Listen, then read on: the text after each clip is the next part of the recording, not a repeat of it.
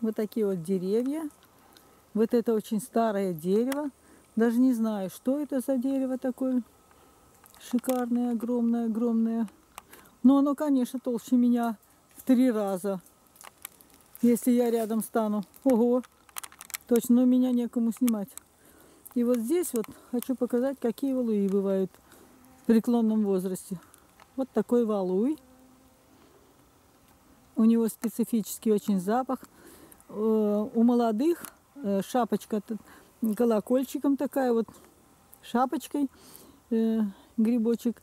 И у него слизистая такая плотная-плотная слизь, которая не ощущается особенно. И у него очень вкусный запах, интересный, своеобразный. Здесь такие валуи. Они очень вкусные, если их приготовить. Но их надо двое суток вымачивать. А потом отварить первый раз минут пять, второй раз минут пять, воду сливать. А потом уже можно в засолку засолить. Отварить, а, конечно, а потом уже засаливать. Ну, они готовы, вареные, когда все осядут на дно. Тогда уже считается, что гриб готов.